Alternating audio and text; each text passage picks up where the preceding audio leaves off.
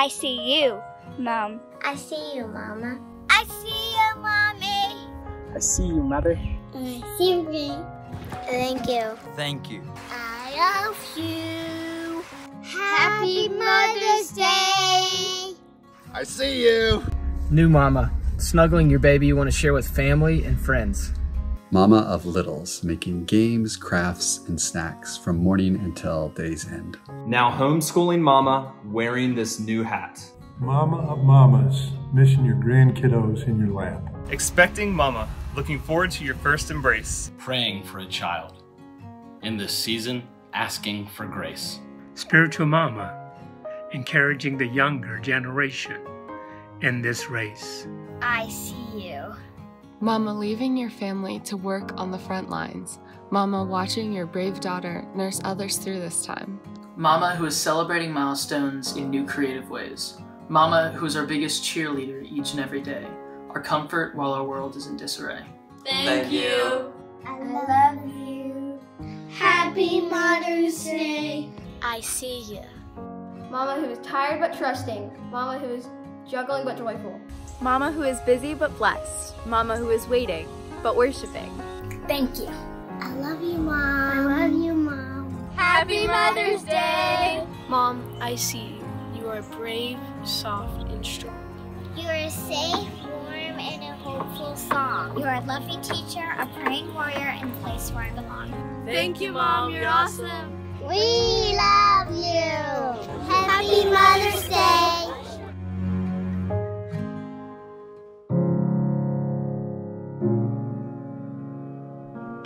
Happy Mother's Day to all the moms joining us this morning. Single moms, grandmas, great grandmas, spiritual mothers, you all carry the honorable role of mother in somebody's life and the weight that comes with that.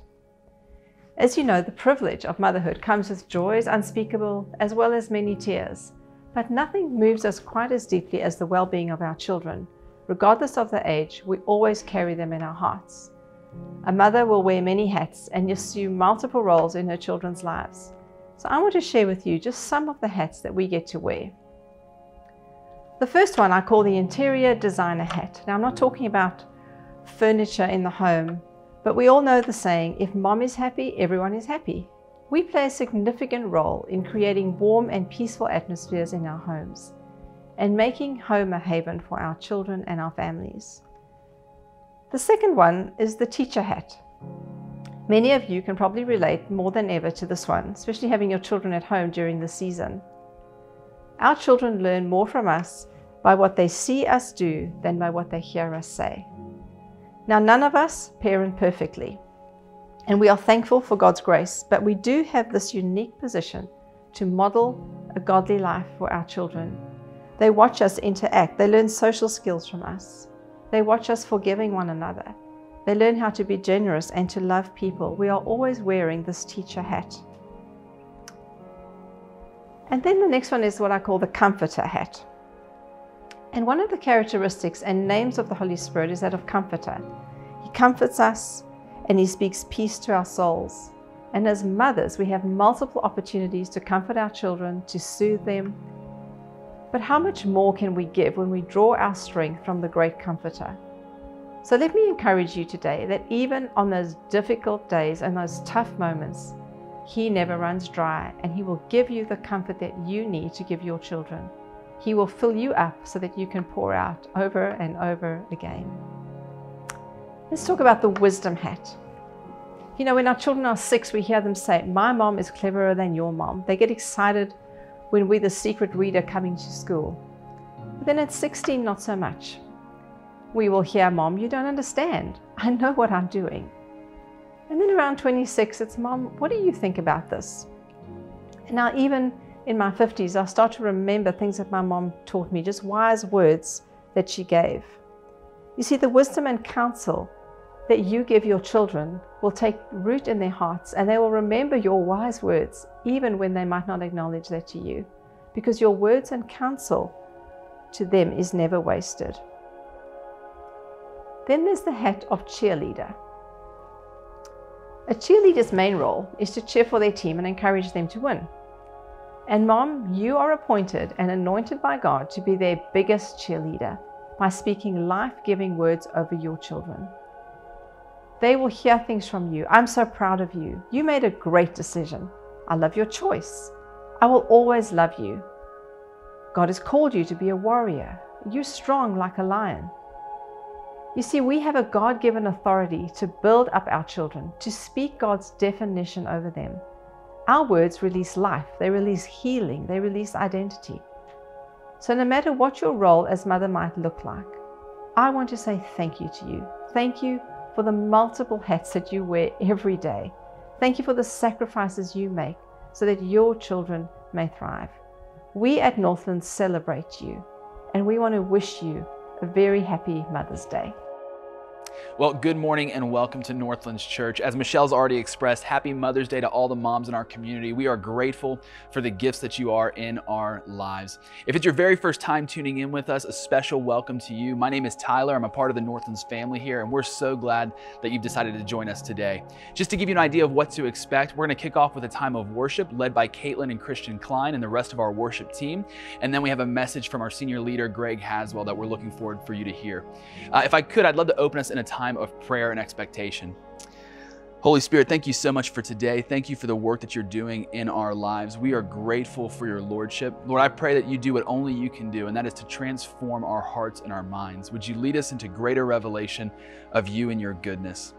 Lord, be with us today and this week as we continue to navigate through uh, this time of pandemic. Would you be with us in every step of the way and watch over our families? In Jesus' name, amen. Once again, welcome to Northlands Church, and I'd love to hand it off to our worship team at this time.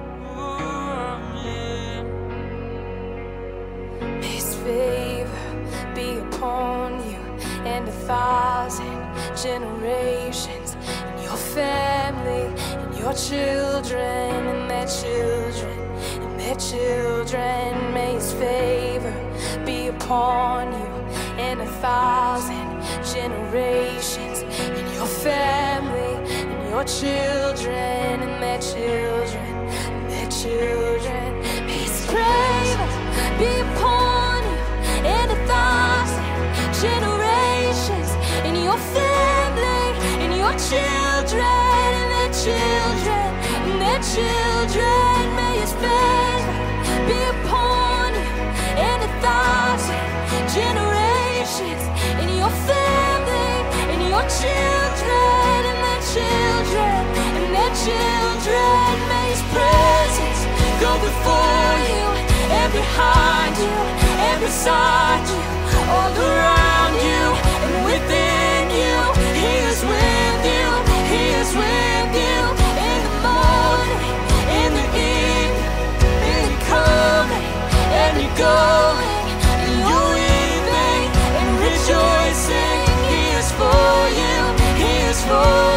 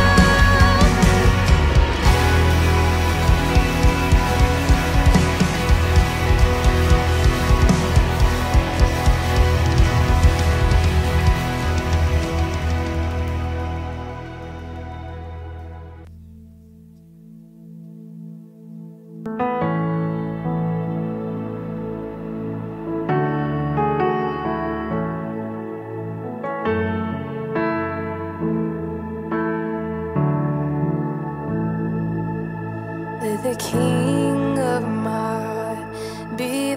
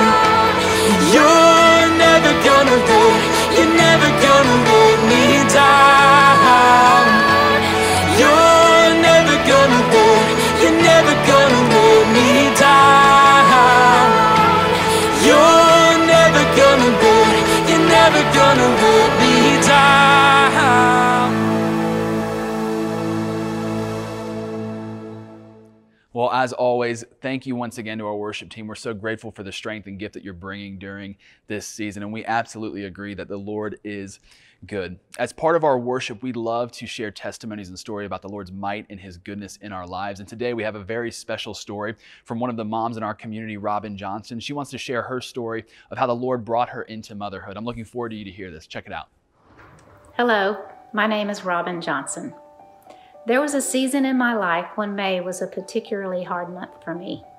While I love celebrating Mother's Day with my mom, it was also a painful reminder of an unfulfilled dream I had to be a mom.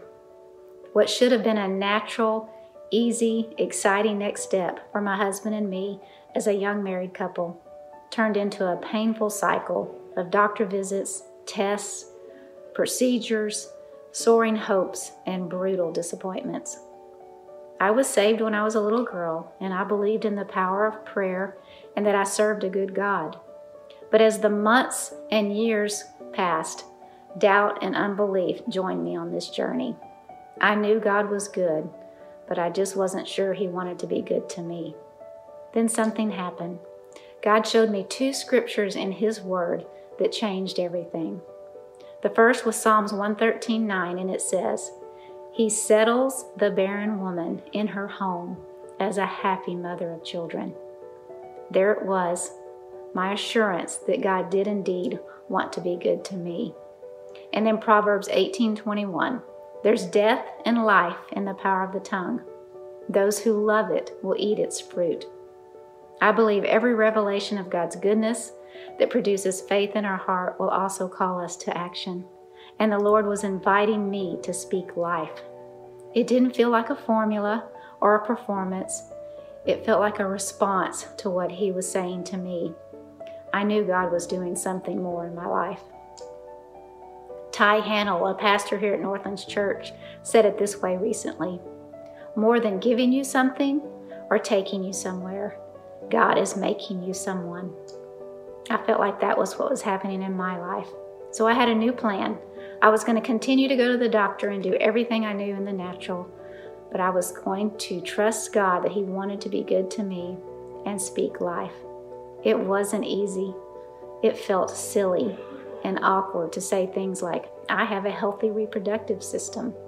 The Lord's settling me in my home as a happy mother. Children are my heritage from the Lord. I have the power of life in my words.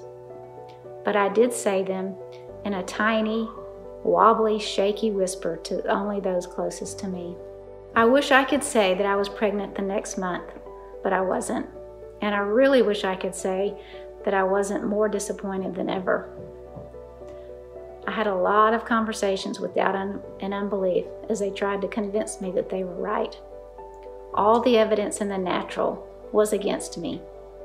But there was something about those two verses.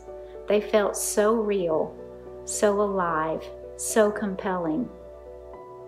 I decided that no matter what, I was going to trust that God wanted to be good to me. It was not an easy decision, and sometimes I doubted, but I, I continued to believe in His Word, and I've continued to speak life. On October 9th, 1987, I held my promise in my arms. And again on September 15th, 1990, I held another promise in my arms. Through His miraculous power, God had made me a happy mother of children. Looking back, He was doing way more than fulfilling a promise. He was also transforming me and maturing me in the process. The foundation that God is good and speaking life are two spiritual truths that continue to bear fruit in my life in every area to this day. If you find yourself in a similar journey, I believe with all my heart the Lord wants to give you the desires of your heart. I also believe He will use this season to transform you into someone He planned before He ever formed you in your mother's womb. I bless you today. I declare you a happy mother of children. May your heart be seared with God's promises to you, and may this journey lay a strong foundation for the good works God planned in advance for you. Robin, thank you once again for sharing your story. So grateful for you.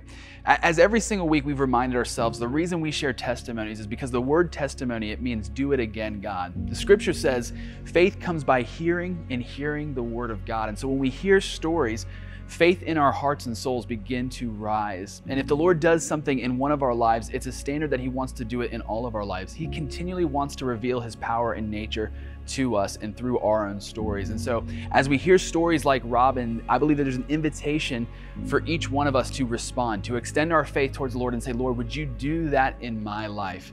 Something that we've shared often at Northlands is that the Lord is with us in what we've called the long battles. Perhaps you've been battling with something for a really long time weeks, months, even years. But the Lord is always faithfully walking with us every step of the way. Sometimes we see His power and might move very quickly, and sometimes it takes time. And so while we are waiting on the Lord, we're going to trust that He is still good and faithful, and we're going to trust Him to see His power demonstrated in our lives. Would you extend your faith? Today, would you extend your faith and say, Lord, would you do it in my life just as you've done it in Robin's? Would you pray with me? Holy Spirit, we thank you for all the work that you are doing in our lives. Lord, right now I ask that you would demonstrate your power. Lord, that you would break through even in the long battles, that you would bring us into deliverance, that you would bring us into places of peace and breakthrough. Supernatural stories, Lord, I'm praying would, would spring up during this time. In Jesus' name, amen and amen. Well, before we jump into today's message, I just want to remind us once again northlands.church forward slash newsletter is where you can get all the information and resources during this time while we're not physically together and gathering here at the building. Things like our daily devotion, we would encourage you to check that out, as well as the fact that Monday to Friday we have a daily Zoom prayer time in the afternoon. We would love for you to join us for that and pray with us. Now, with that being said, I'd love to hand it off to our senior leader, Greg Haswell, as he brings today's message.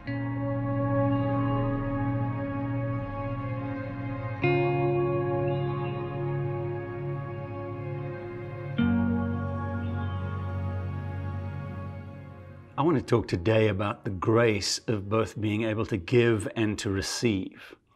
The scriptures talk about this grace, that it's a gift of God. The, one of the graces, like leadership and administration and showing mercy, is this uh, ability to give generously. But I'm intrigued by the concept of, uh, especially at this time, of how we can both give and receive with grace, because it's part of something the Lord wants to do.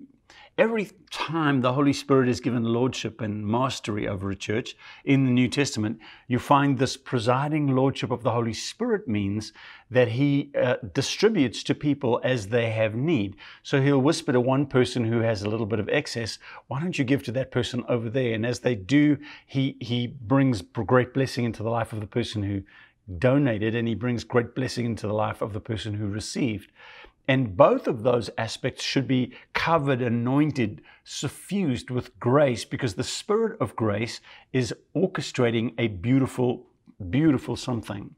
Right at this time, there are some of us who are, are, have a little bit extra and are in plenty, and there are some of us who are in need. And I think many people who may have lost their jobs or being furloughed would be saying, I, I have a need.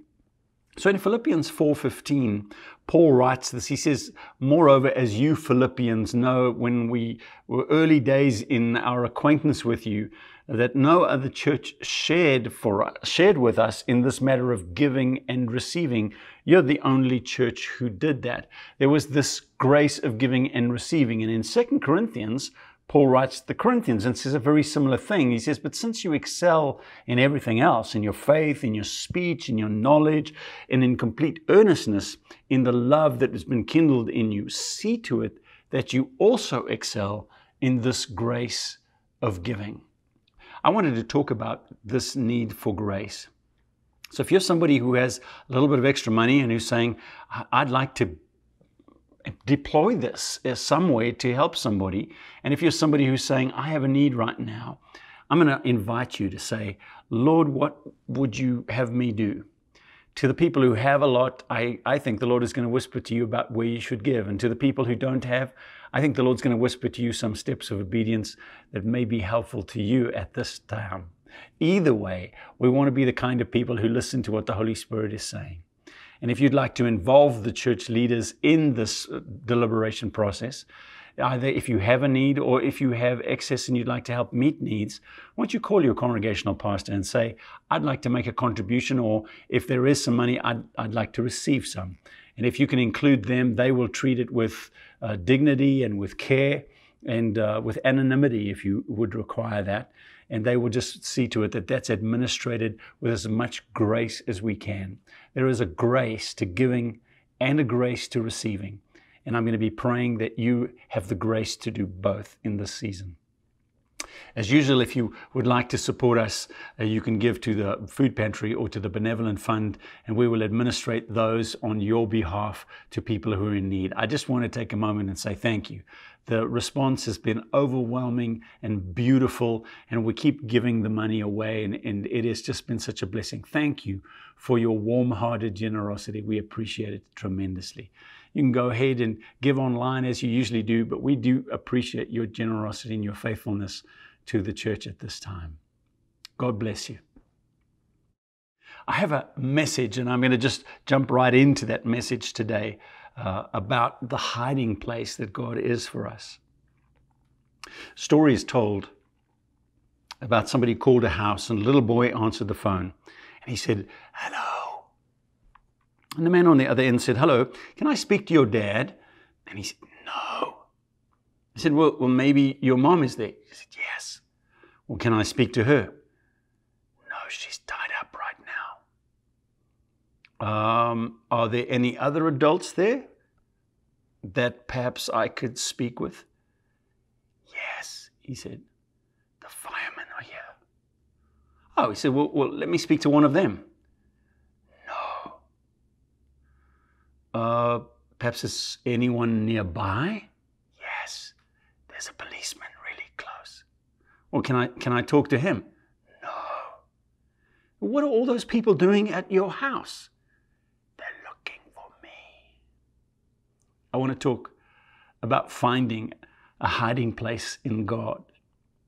Finding a hiding place in God. Life isn't always a direct line of sight between cause and effect. Uh, when we sow to please the Holy Spirit, that seed may take a little bit of time to grow. So the people who dip in occasionally into the space of doing what is good and responding to the Holy Spirit's voice and, and then and then doing whatever they want, that doesn't always show the results of the wise choice because the wise choice when they sow to please the Holy Spirit, uh, that harvest may take a little time to grow and, and so good and bad things are happening to them always and it gets lost. But there's something beautiful about people who choose to be habitual about how they sow and how they choose to please the Holy Spirit. Eventually, uh, the people who habitually sow to please the Holy Spirit, uh, that sowing will become evident in our lives because what you consistently sow will eventually bear fruit. And what we sow bears fruit, and what we habitually sow creates a lifestyle. And that's essentially what Paul is talking to the Galatians about. He says, Listen, guys, you're doing the right things. Don't get weary in doing those right things. Even though you may not have seen the harvest come up, don't worry, your harvest is coming. So let me take you to Galatians 6, and I'm going to read from verse 7 to 10. Don't be deceived. God cannot be mocked. A man will reap what he sows. And whoever sows to please their flesh from the flesh will reap destruction. But whoever sows to please the Spirit from the Spirit will reap eternal life. Let us not become weary in doing good. For at the proper time we will reap the harvest of righteousness if we do not give up. Therefore, as we have opportunity, let us do good to all people, especially those who belong to the family of believers. Far from being a rebuke, in these verses, Paul is talking to encourage believers who are being persecuted, even though they've been doing the right things. They've been sowing the right seed. They've been earnestly wanting to please the Holy Spirit. And uh, while their crop is still growing, some evil people have come in and bad things are happening. And they're starting to wonder if it was worth it all because it looks like the bad guys are winning. Paul isn't here encouraging us to sow to earn for our salvation or to achieve God's favor or to try and ingratiate ourselves into the heart of God. All of those things were accomplished by Jesus at the cross. When we believed all of those, the favor of God, the, the, the, placement of God, the, the reconnection with God, were all assigned to us in Jesus Christ. They were achieved and delivered simply because we believed. But we are sowing because we have already achieved these things. And now we want to live a fruitful life in cooperation with the Holy Spirit. We sow because it's the right thing to do, and we like to go on this adventure as we walk with the Holy Spirit. So we pursue this adventure so that our position can become our practice. We are positionally seated with Christ, and we want to learn how to make that position our practice. This is how we live. So, those of us who habitually seek God out will discover that He is habitually found by us. Those who habitually sow to please Him will find that they habitually reap harvests. As the scripture says, those who keep on sowing their bread on the waters will soon see it returning on every wave. Now, all of the depths of God's wisdom and treasures and knowledge are found in Jesus Christ, and they are made available to every redeemed person who's interested enough to come and get them. All of the inheritance that Jesus secured for you and for me is experienced by those who ask for it. So, we're not talking about works to achieve favor with God. We're talking about wisdom points that will secure a greater harvest of fruitfulness. Now, recently, I've been reading Psalm 32, and a verse jumped out and bit me in the heart as David wrote it. And it's brought such comfort and security that I'd like to share it now because I feel like it's a word and a whisper for us at this time. Psalm 32 is quoted in the New Testament in, in, by Paul in, in reference to the righteousness that is earned by faith and not by works. David wrote the psalm about how blessed are the people who God credits righteousness and doesn't hold their sins against them. And he speaks about his own sin and, and, and how he, he messed up. And then he talks about how God uh, is going to treat others. Many people believe that this psalm chronologically was written after Psalm 51, where David repented. And in Psalm 51, he said, I'm going to teach sinners your way. And so this is the psalm that he wrote after that. And he talks about what we can expect uh, to God, how God's going to deal with us. And then he talks about how there are two groups of people some are wicked and some are righteous, and how God deals with them. But let me get to the verse that spoke to me, and I think is for us all. You are my hiding place in verse 7. David said this You are my hiding place. You will protect me from trouble, and you'll surround me with songs of deliverance. This idea of God being a hiding place, a place where we can run and be hidden and, and nobody can see where we are, a place of safety and security, of blessing, of prosperity, of peace, and, and that we hide ourselves there. This is a theme that's spun again and again, and especially by David throughout the Psalms. Psalm 119, 114, he said, You are my hiding place and my shield. I will wait for your word. Psalm 46, verse 1 God is a refuge and a strength, an ever present help in a time of trouble. So before I unpack that verse, I want to just look at the, the, the, second two things that God said because I want to come back to focus on you are my hiding place. But, but David said, You are my hiding place. And then the second stanza, the second piece of that, he said, You protect me from trouble. You are my hiding place. You will protect me from trouble. Somebody once said to me, Trouble keeps finding me. And the answer is, Jesus will keep protecting you. But you and I have a choice to decide where we're going to be when trouble comes. The question is not, does trouble going, is trouble going to find you at some stage in your life? Yes. Some stage, every one of us is, finds ourselves staring down trouble. The question is, where do you want to be in your heart and in your mind and in your spirit when trouble comes? Because God is the God who likes to protect us from trouble. For those too strong for us, as David said, even from the trouble that we ourselves have created, God wants to protect us from that trouble too. He hides us and He protects us from trouble. It's one of the things that David said is a benefit, is a, is a part of finding God as my hiding place. When I come to Him and I hide in Him, He protects me from trouble. Now, I don't know what troubles you may be facing, but this one thing I do know that if you will pursue the Lord, if you will reach in and make Him your hiding place, He will protect you from trouble. Some of the troubles in my life were my own foolishness. Some of the troubles in my life were my own negligence. Some of the troubles in my life were just other people just being mean. Whatever the troubles, God will protect us from them. So, Psalm 91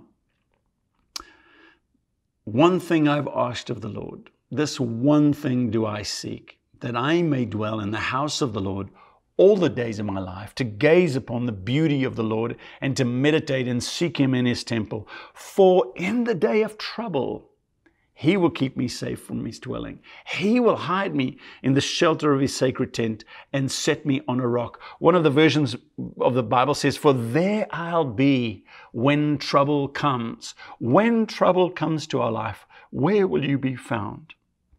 And these two are inextricably linked, making God our hiding place and experiencing His protection. Duck behind this shield and the arrows won't hit you. Sounds pretty obvious, but if we'll make the Most High our hiding place, if He becomes our shelter, if we hide in the shelter of His presence, then trouble can't find us, and trouble will be broken over our lives. Friends, I don't know if you're facing any trouble, but I have an answer for you. You are my hiding place. You protect me. You will protect me from trouble. Second thing he said, you will surround me with songs of deliverance. You are my hiding place. You will protect me from trouble. You surround me with songs of deliverance. Not everybody knows that God likes to surround his people with songs. God sings over our lives. He rejoices, dances, and shouts over your life. The God who watches you, who never slumbers or sleeps, who, who knows every hair on your head, who sees everything that's going on in your heart and still loves you anyway. The God who watches over your life loves to surround you. There's so much about you that He delights in because He fashioned you for a purpose. And He doesn't just see what is in your heart currently, He also sees who you are going to become because He's put His call on your life, He's put His hand on your life. He hasn't forgotten you. In the scriptures, he said, I, I, I, could no, I could no longer, like a mother, the child at her breast, he said, even if that was possible, even if that mother could forget, I will not forget you, is what the Lord said. And that's simply what the Lord's doing. He's watching over you. Now, he, He's going to sing over your life, He's going to rejoice over you. And if you'll just take a little time, if you find God in the hiding place, not only will He protect you from trouble, but He'll sing songs of deliverance over you. And if you're quiet enough, you'll begin to hear the songs of deliverance. Zephaniah 3, verse 17 says, The Lord your God is with you, a mighty warrior who saves. He will take great delight in you. In His love, He will no longer rebuke you, but He will rejoice over you with singing. The mighty warrior who saves is rejoicing right now over you with singing. And the Bible says that those who will seek Him, that is going to be the benefit. That word for rejoice over you means to spin around with great joy, to shout aloud, to sing loudly with songs of deliverance. Now, I'm intrigued that the Bible doesn't say the song of deliverance, it says songs of deliverance. He's not a one hit wonder here. There are overwhelming floods and streams of different songs of deliverance. And you're saying, but my circumstances are unique. The knot that I've bound my life up into is just too tight. I can't get out. Well, there is a song of deliverance from God, even for that. There are songs of deliverance that God wants to sing over your life. And David said, all three work together. You are my hiding place. You will protect me from trouble, and you'll surround me with songs of deliverance. I want to talk about this idea that David said, You are my hiding place. See, if I'm, if I'm out on, going for a walk and uh, I'm caught out in a massive thunderstorm, I'm up on a mountain, a massive thunderstorm is coming, and there's lightning and it's dangerous and I look over and I see a hiding place, a cave that is protected in back. And I go, oh, look, there's a hiding place.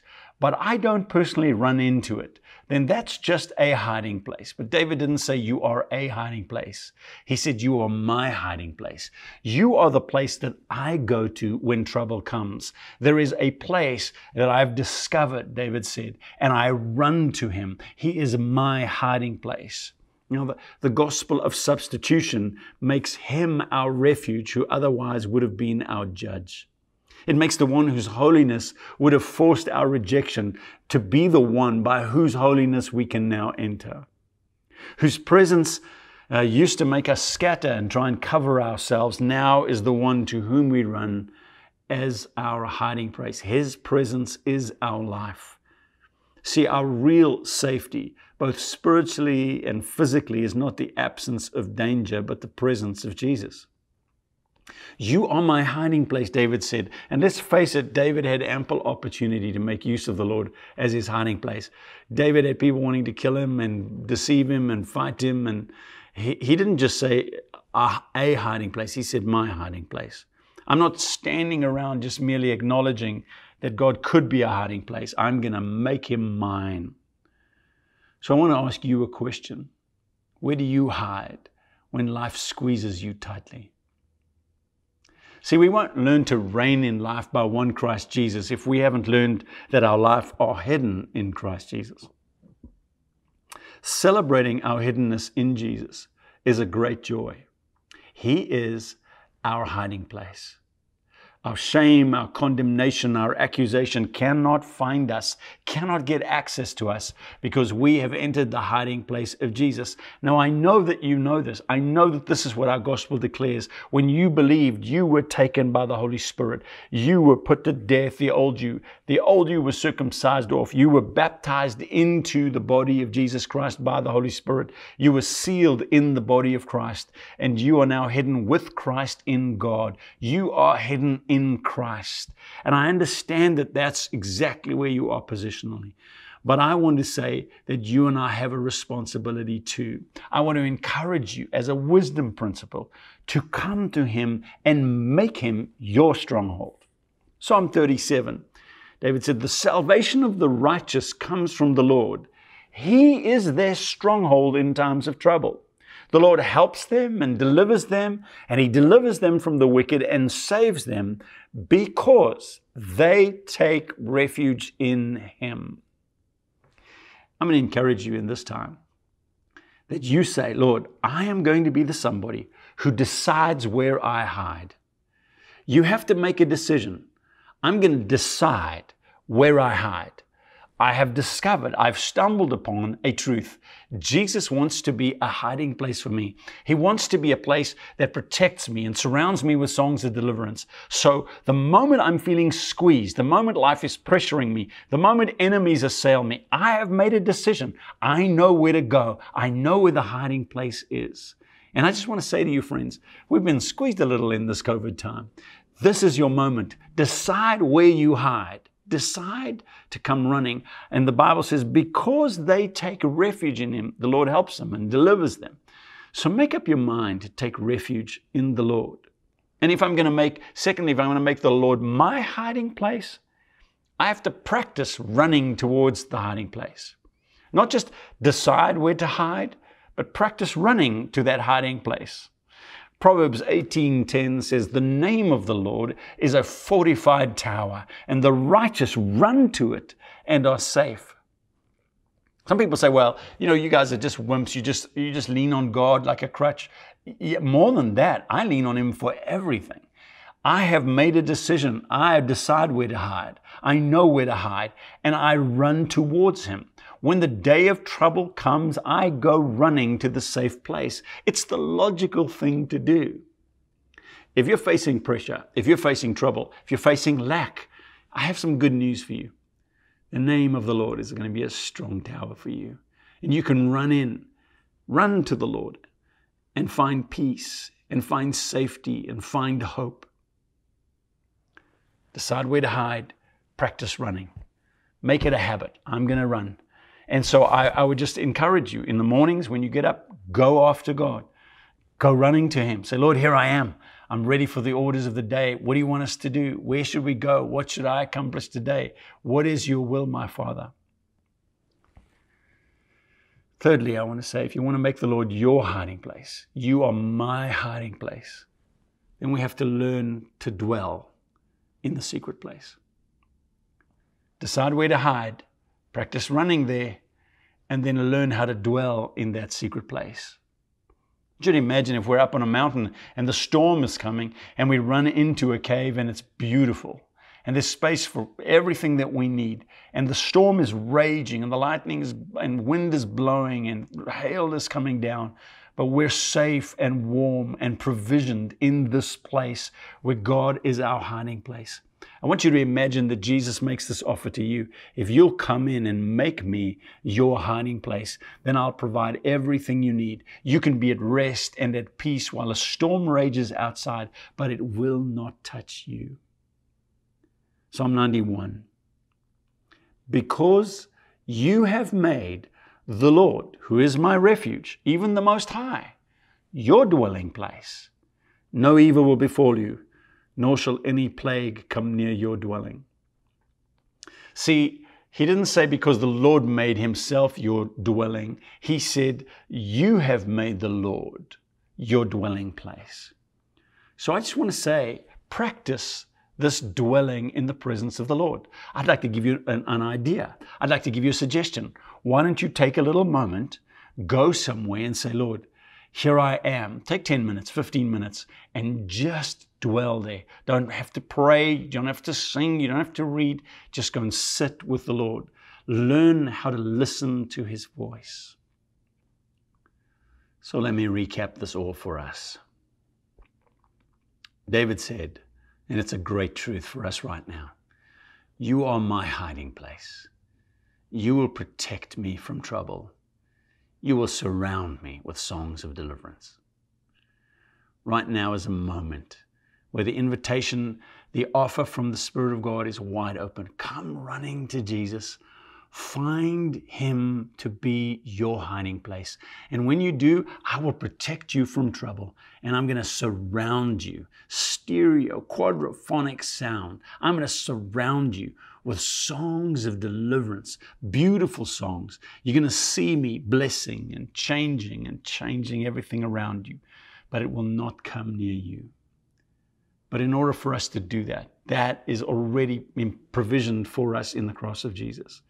But in order for you and I to experience that, make up your mind. Decide where you hide. Practice running to that hiding place.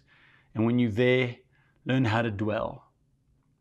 Because if you've made the Lord your dwelling place, then no harm can come to you. We miss you guys. We're looking forward to getting back together again. We're thinking through how to have worship evenings and how to have baptismal services and how to do all these wonderful things in a post COVID world. Um, and uh, we're praying for you regularly. We pray for you every single day, in fact. And uh, we can't wait to get back together again. God bless you and thanks for being with us today.